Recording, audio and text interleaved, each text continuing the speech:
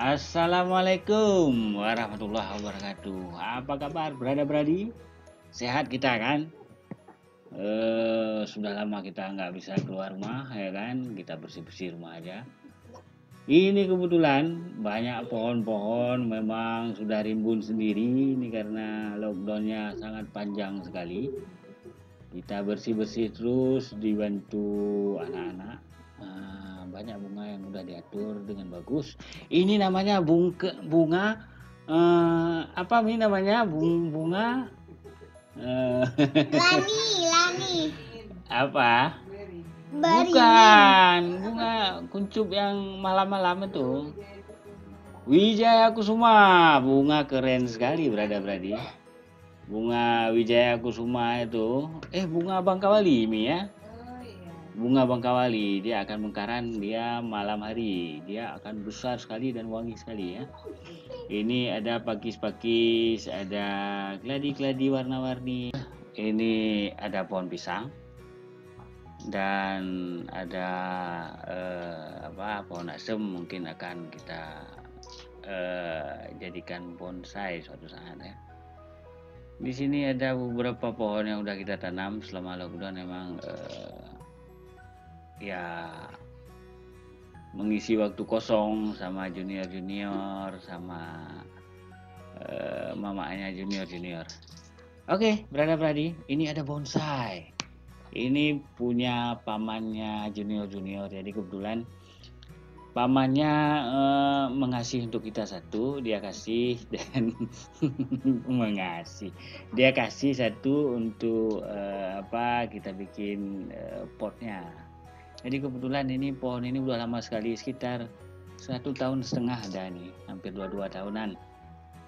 Oke berada beradi bagaimana ini? Kita bikin eh, bonsai ini supaya sedikit agak uh, seni lah ada seninya dan uh, mungkin uh, saya juga lagi belajar nih ya. Ini baru pemula ini sebenarnya ini untuk dalam kategori bonsai butuh uh, berada beradi uh, apa yang sudah senior senior mungkin di bidang uh, bonsai mungkin bisa menulis di bawahnya di bawah di sini. Masukan-masukan untuk saya mungkin saya akan uh, lebih banyak lagi belajar ke depan. Dan ini uh, hari ini saya akan bikin pot kasihan sekali udah keluar semua akar-akarnya ah ini akar sudah keluar ini. Ini pohon ini katanya ini hama ya. Tumbuhnya di mana-mana di dinding di loteng di atas atap entah di mana-mana pokoknya. Dia nggak ada air jadi pokoknya. Oke okay, brother. Semua udah kita lihat nih akarnya keren sekali. Nah ini dia ya. Kalau misalnya mau mesen nggak apa-apa. Pesen aja.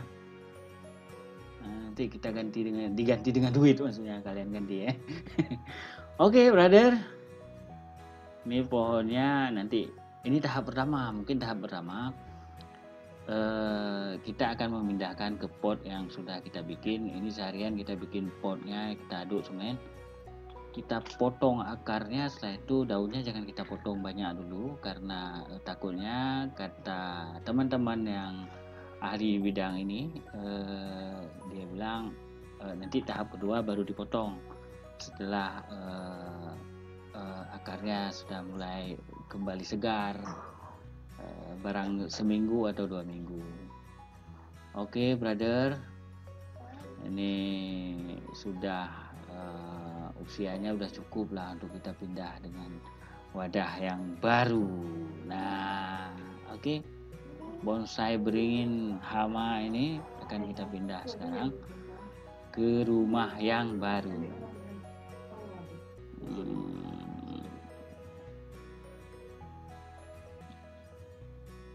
Oke okay, brother, daripada bertele-tele sepertinya kita menggunakan uh, tang yang biasa aja ini ya. Tang tang tang tang teng tong.